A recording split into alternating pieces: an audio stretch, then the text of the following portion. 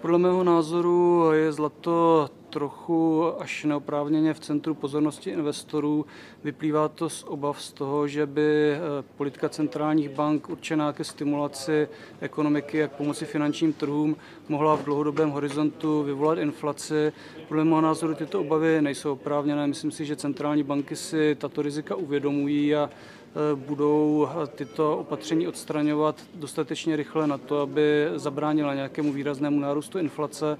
Všem ti investoři, kteří s tím nesou, nesouhlasí, kteří si myslí, že to centrální banky nezvládnou, tak eh, tlačili a tlačí zlato nahoru.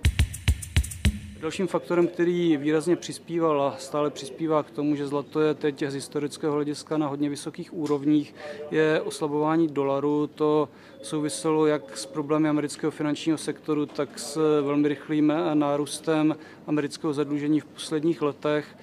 Tam si myslím, že také se postupně vyčerpává prostor pro to, aby tento faktor zlato podporoval. Myslím si, že s tím, jak dojde k obratu v cyklu úrokových sazeb, to znamená, jak sazby začnou jak v Americe, tak v Evropě růst, zlato bude postupně ztrácet na atraktivitě.